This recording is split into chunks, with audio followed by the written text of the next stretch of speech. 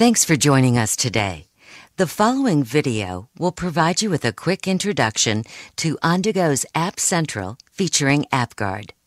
App Central is designed to help your enterprise, regardless if it is large or small, to deal with the proliferation of mobile phones amongst employees. If you are like most companies, you probably have a mixture of company owned phones and employee owned phones. You want to provide your employees with access to your critical applications on their mobile phones to allow them to do their jobs better.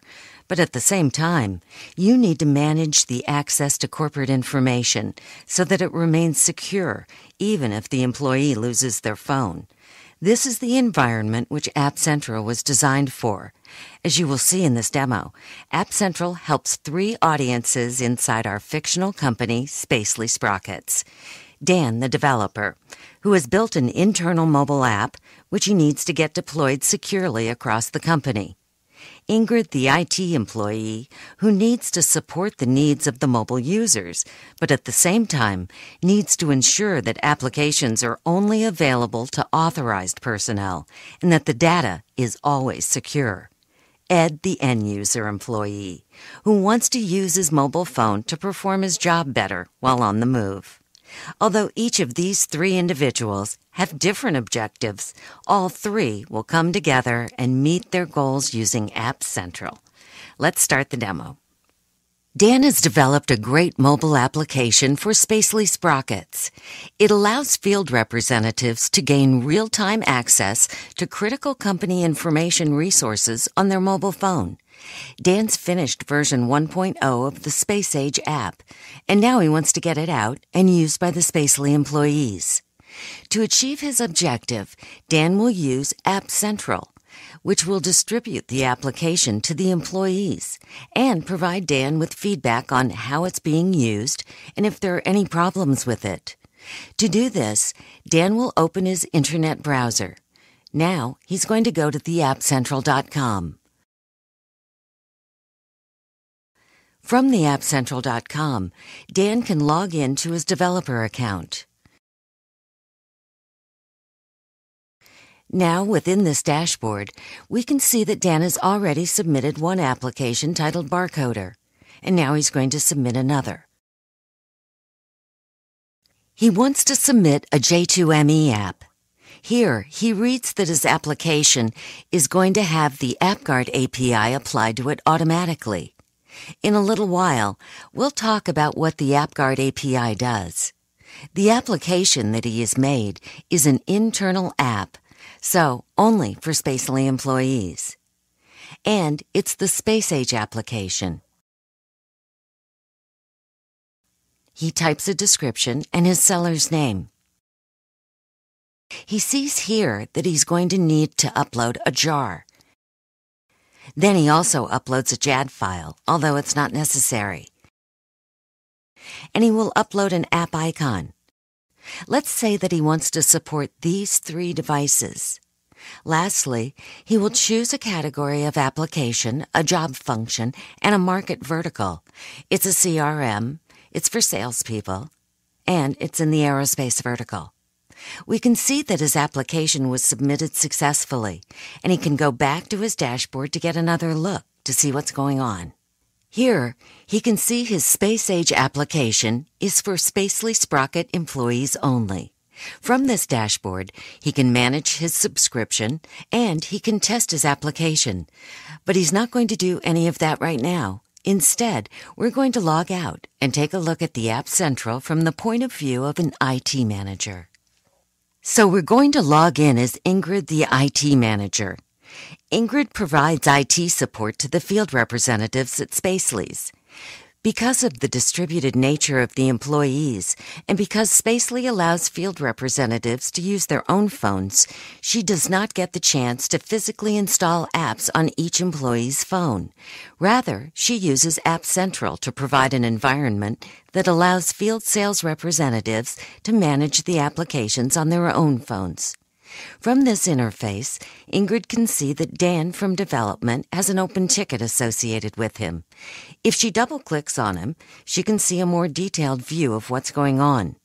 She sees that this open ticket is associated with the Space Age app, and it's Dan requesting an app approval. She can click on this magnifying glass to find the associated action in the panel below. And because she is deciding on an approval, she double clicks on the application to get more details. She reads that it's an application for salespeople, and she decides that this is exactly the type of app that field representatives are looking for, so she adds it to the company catalog. She doesn't want to approve the application for all people in her company. She wants to do it on an individual basis as they ask for the app, so she chooses that option. This application contains AppGuard, so she chooses that checkbox. Ingrid knows this because she tested it earlier. She is able to approve the application because she feels confident that it will only be accessed by authorized personnel. The system has now figured out that there is a ticket associated with the action that we just took and asks us if we want to close it, which we do. If we look at this page, we can see that the app is now approved for the company and we can go down here and change the approvals of the application for different users. We're not going to do that right now. We're going to log out and take a look at how Ed the end user can request an application. So we log in as Ed the end user and take a look at the App Central from his perspective. When he first comes in, he's on the company catalog page and he sees the Space Age application was recently approved and is recommended for him and it's grayed out because it is in his company catalog, but it's not approved for him specifically. He sees this lock under the application, which means that the application has AppGuard applied to it. Now, he clicks on the Space Age application so he can get more details about it. He reads that this app is for salespeople, and he's a salesperson, so he's interested in getting the app. He's going to request an approval. Now it shows up in his My Request section. And this ticket has been sent to his IT manager. If we open up another browser, we can actually log in as Ingrid, the IT manager, as well.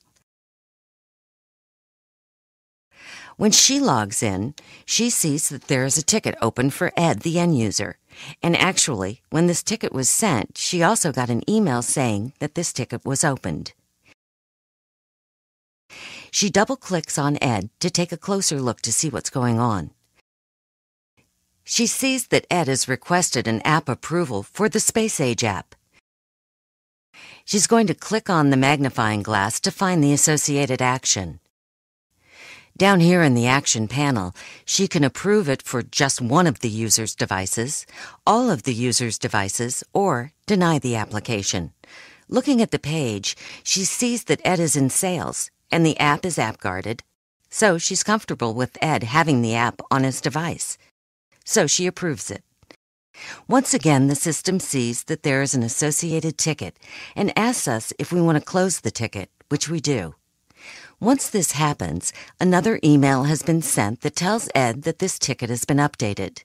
We can go over to Ed's interface again and take a look at the company catalog. Ed sees that the Space Age application is approved for him now. It's no longer in grayscale. If he goes to his My Requests page, he'll see that his ticket was closed, and the outcome was that the app was approved. Now he can download the app from the company catalog.